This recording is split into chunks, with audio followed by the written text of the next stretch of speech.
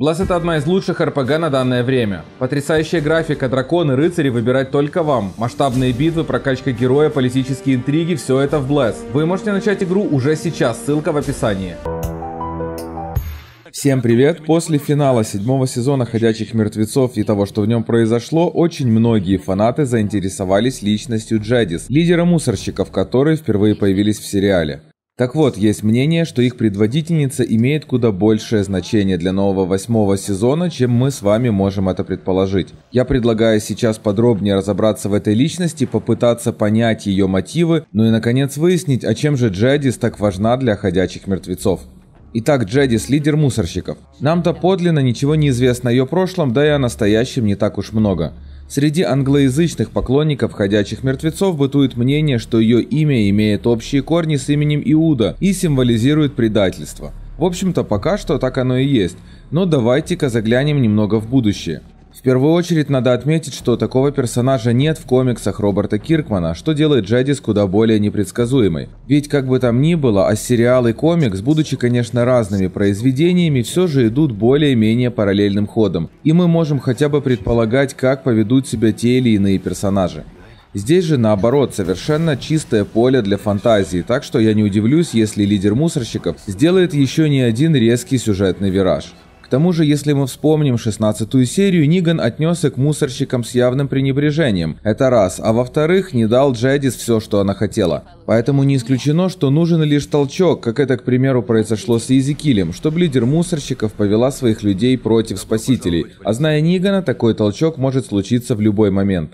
Также интересным фактом о Джадис является то, что ее роль могла стать как женской, так и мужской, то есть создатели сериала очень долго не могли определиться с этим окончательно. Да и теперь в Джеди с ее облике и поведении присутствует довольно много мужского. А помня, что женщины не самые лучшие лидеры в ходячих мертвецах, по крайней мере пока что, мужские черты придают Джедис куда больше шансов на успех.